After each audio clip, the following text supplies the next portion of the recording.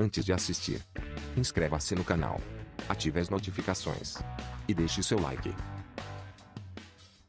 Jesus, segunda-feira, 18 de janeiro. Os soldados romanos não encontram os apóstolos no esconderijo. Lázaro e Tiago Justo tentam esconder o disfarce. Sula implica com Miriam. Ioná diz sentir falta do mestre. Mateus conversa com Cornélios e explica como fugiram. Tiago Justo se emociona ao descobrir que Deborah está grávida. Cláudia diz que sentirá a falta de Cassandra. Pilatos ameaça Petronius. Tadeu fala sobre seu amor por Helena. Livona fica satisfeita ao perceber que Caifás está gostando de seus serviços. Lázaro e Susana se declaram. Marta diz amar Malco. Betânia beija Zelote. Pedro e os apóstolos saem para pescar. Petronius se despede de Cassandra. Pedro se decepciona com a falta de peixes. Caifás elogia o comportamento de Livona e Anás estranha. Os apóstolos veem Jesus durante a pesca,